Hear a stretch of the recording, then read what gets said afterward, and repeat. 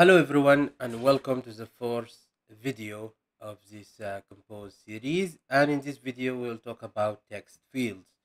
In the legacy Android UI toolkit you would use and edit text to show the input fields to the user. The composable function counterpart is called a text field.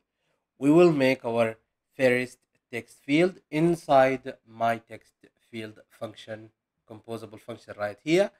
And uh, let's go ahead and start.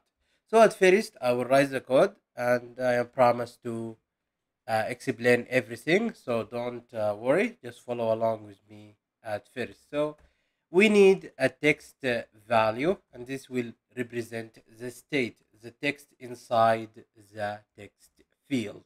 And we will use remember function.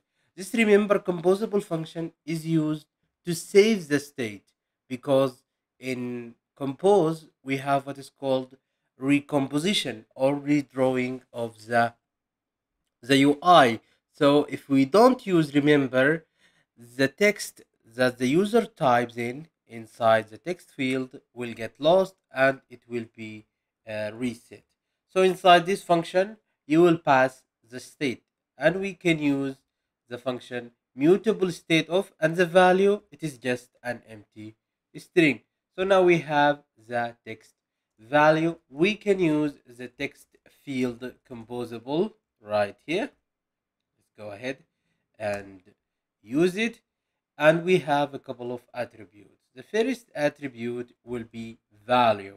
This is the value. From where the field or the text field will get its value. Since we have this uh, variable here, we can use text value dot value. So this is the state of the text field. Also, we have one more method which is called on value change. So this will be called when the user start typing on the text field. When the user start typing on the text field, this method will be called. So it will have the it or it have the string that the user types it and we can save it in our state variable too by using text value equal to it.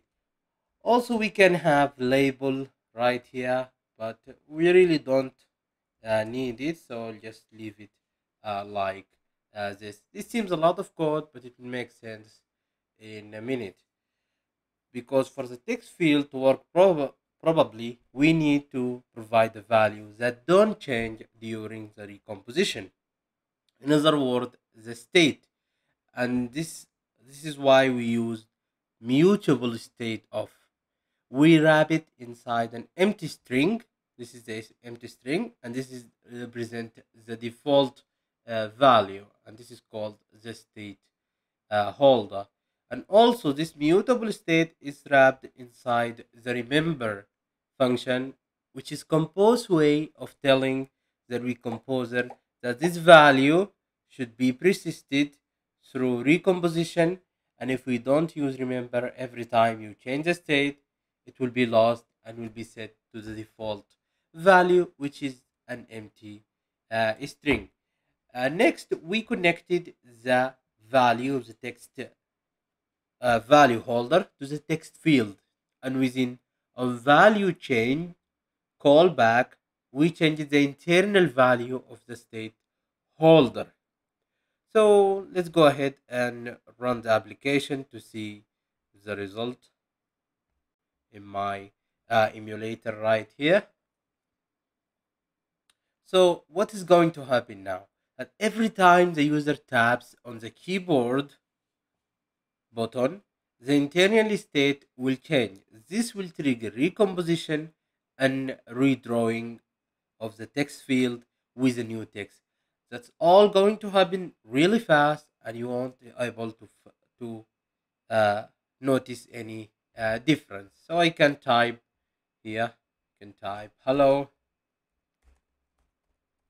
Now every time I type, the state will be saved inside this uh, text value using the on value uh, change. And uh, this is wraps up the video. Uh, thanks for watching. There is also another variation of this text field. You can play with it called uh, outlined text field.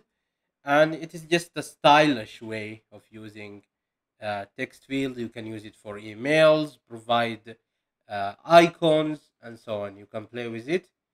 And i will leave that for you to explore. Thanks for watching.